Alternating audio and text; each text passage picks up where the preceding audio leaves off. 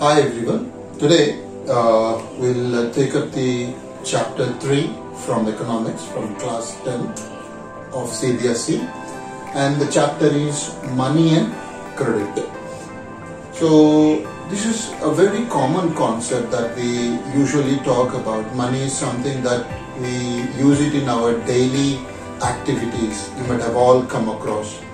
So we'll talk about money that is in circulation today and even in the past and we will talk about the credit system that we have got. So let us first of all see what is money and how are we using it? How is the use of money going on and how money is acting as a medium of exchanging the commodities.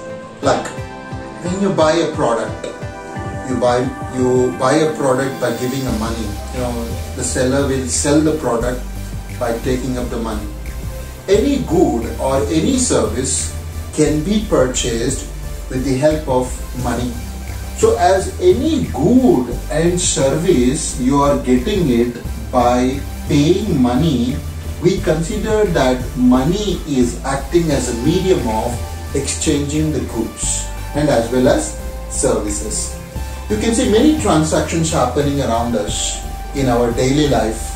As soon as you get up in the morning, once you move into the market, number of economical activities going on.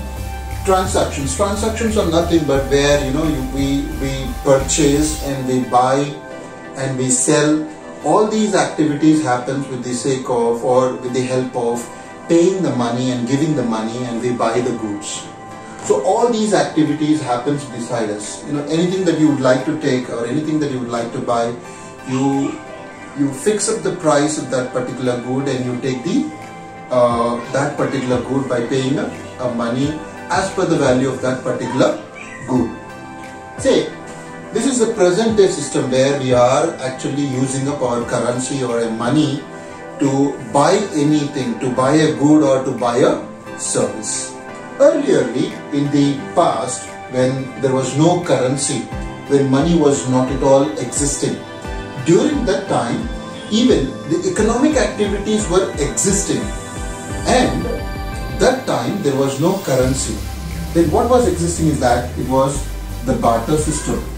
Barter system is nothing but exchanging of commodities. Commodities were exchanged between the sellers and the buyers all used to gather and uh, as per the requirement of her or him, whoever it is that they want to buy or they want to take, they used to gather in the market and they used to exchange the commodities. And exchanging of commodities was a difficult one because in this barter system, one, one, one important feature of the barter system is the double coincidence of wants, which was very important and very vital for the exchanging of commodities. Say for example, I have a hundred kg of wheat and I wish to exchange it with rice of a hundred kg. So in the barter system, uh, first of all, when I have a wheat, I need to find a person who has got the rice. And the person who has got the rice needs to take my wheat in exchange. Then my need also should be on the other side his need the persons, you know, when two parties will have a common uh, requirements or a common wants, then we call it as a double coincidence of wants, which was very tough, which was very difficult in the barter system. So the difficulty in the barter system has led the invention of currency, the invention of money, which has come as a medium of exchanging the goods. Right. Now let us see the modern forms of money. I was talking about currency. Now see the currency in the present day we all know that. Then what was the kind of uh, mode of exchanging the goods in the past, in the earlier days?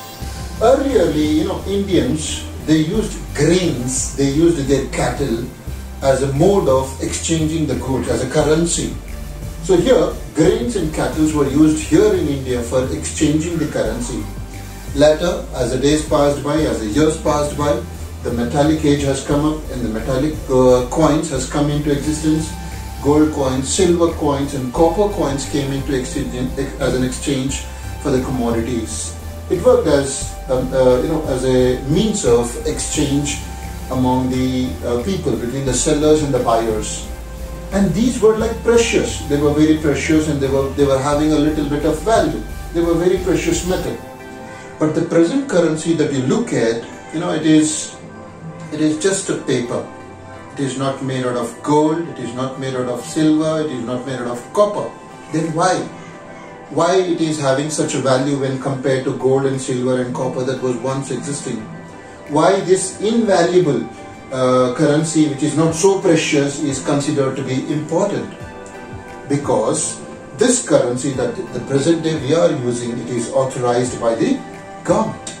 The government has authorized, the government has made a law that the any transaction or any commodity, any purchase that you make, you have to make with this currency, with these denominations that has been provided by the government.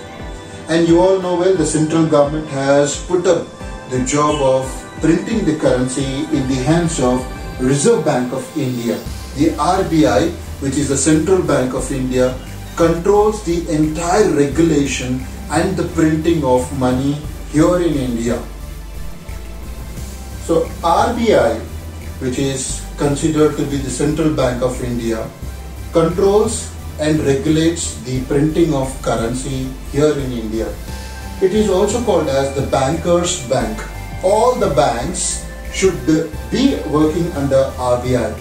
If they should all get recognized by the RBI. The control of printing the currency, the control of all the banks, it is all in the hands of RBI itself.